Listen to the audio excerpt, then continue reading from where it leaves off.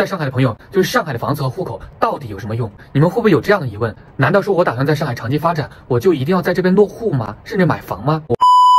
前几天我在平台上给大家分享了一下，就上海的房价，就很多朋友说，在上海徐家汇这一块，基本上房价已经到了十五万加了。如果学区房有可能是十八万加，甚至更长。然后我就在想，我们算一下，如果买一套八十平米或者一百平米的房子，这样的话要一千多万，一千多万。如果我们年薪二十万，或者是五十万，甚至一百万，我们到底要花多少年去还清这些房贷？所以，如果我们没有房子，没有户口，难道我们在上海就没办法生存下去吗？还是说会有很多便利？因为我说实话，我现在已经在上海十年了，目前为止，我现在没有感受到因为没有房子或者没有户口带来的不便利之处。那目前我和我媳妇是租住的房子嘛，在徐家汇这边八千块钱一个月还相对能承担。对于很多人来说，你既然愿意付八千块钱一个月的房租，那你还不如买套房去还房贷。其实我们之前有想过，如果我们要买一套房，以我们现在经济实力，我们没办法买到市中心的，那有可能我们就买在中环以外，甚至外环以外。那从那边。到这边来上班，我们可能就花的时间会比较长，要一个多小时。这来回路上的奔波，呃，其实是蛮焦虑的，也蛮辛苦的。所以我们之前是做了个决定，说就在公司附近。所以其实我们两人现在上班基本上也就十多分左右，然后整体上来说，我觉得还是相对比较自由和舒适的，就便利度很高嘛。但是为什么我最近会关注起房子或者户口的原因呢？是因为我和我媳妇已经开始打算要孩子了，就是因为要孩子，所以我发现。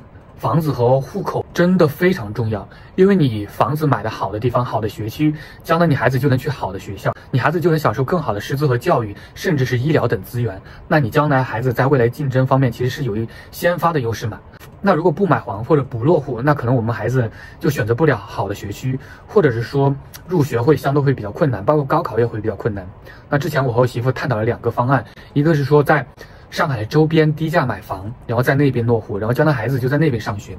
另外一种方案就是回老家，让孩子在老家那边上学。那老家那边说实话，教育资源肯定是比上海或者上海周边差的。所以其实我们有考虑过，要么在上海买房，或者要么在上海周边买房。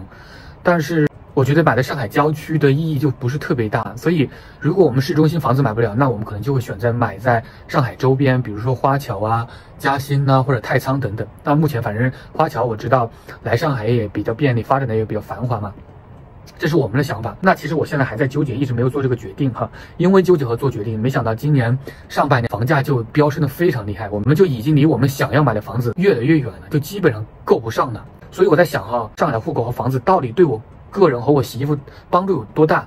如果纯粹为了孩子的教育，我们有没有必要花那么多钱，几千万买房呢？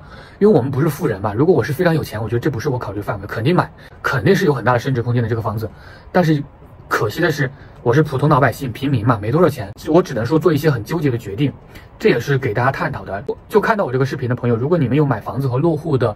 你们能不能跟我分享一下，到底真正买房子和落户对于我们有多大的帮助？然后孩子如果在市中心读书，或者在上海的郊区读书，或者是在上海周边读书，就这几个方案的教育差距会有很大吗？我说实话，我有很大的一个倾向，想说还是租住在上海。